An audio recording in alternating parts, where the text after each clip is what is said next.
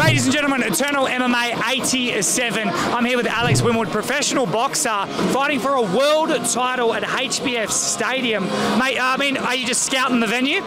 Yeah, you know, I'm just pretty much visualising what I'm about to walk into in three weeks' time for my WBA world title shot. Now, mate, we were both practicing your opponent's name uh, off camera. I'm Yep. not going to pretend to be some boxing savant. I'm an MMA idiot. I can't imagine what I'd be in boxing. Uh, the man you are fighting is Thammanoon Niyomtrong is how you pronounce it. Uh, knockout CP Freshmart is his boxing name.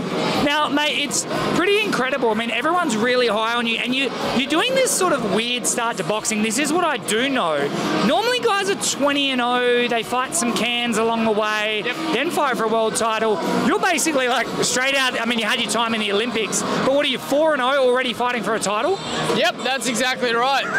I'm 27 years old. I don't want to go for the next five years trying to just chase uh, some tomato cans, and I don't mean disrespect by that to anyone that gets in the boxing ring. But um, I know my level of competition, and I've said it from the very, very get-go that I need to be up the top and we need to face the best, and that's what we've been doing. Now, I wouldn't be me. I mean, I don't know the boxing world at all, but I wouldn't be doing my job, which I love to do. Uh, is there anyone out there that does fight tomato cans that you don't like? Not really, you know. I, I'm there's no one that I really have any bad ill feelings about in boxing, essentially, uh, unless they're in my division. but other than that, which there's none in Australia, so I love all my countrymen, and uh, yeah, I just support one another. I mean, you speak countrymen as well. Like I was, I spent some time in Bunbury as well. You from Bunbury? I mean, uh, talk about what it's like to take your community, your people with you to the top. You know, it's just an absolute honour to be able to go through something that I find is just my passion in boxing and then represent not just a local community, a wider community, Perth, WA, Australia on world's biggest stage and fighting for a world title. Bringing all these people along the journey is what it's all about and it gives me that extra bit of drive.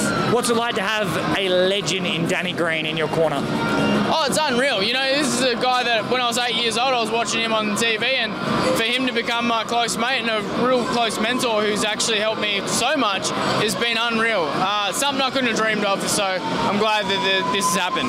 Yeah, I mean, I think I remember watching Danny Green in this very arena. I mean, he's probably going to have some memories coming back here as well.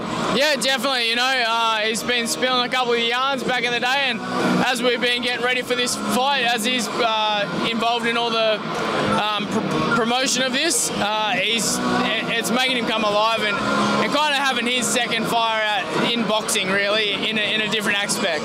And what, what's your thought on, on mixed martial arts? Of course, we're here at Eternal MMA 87. You've seen some of the guys compete. What's it like? Mate, they've got all my respect. I would not like to take a knee, kick, or a boot to the head. So these guys are tough as nails, and um, you know I love combat sports. So to watch this quite live is fucking unreal. And prediction for the fight?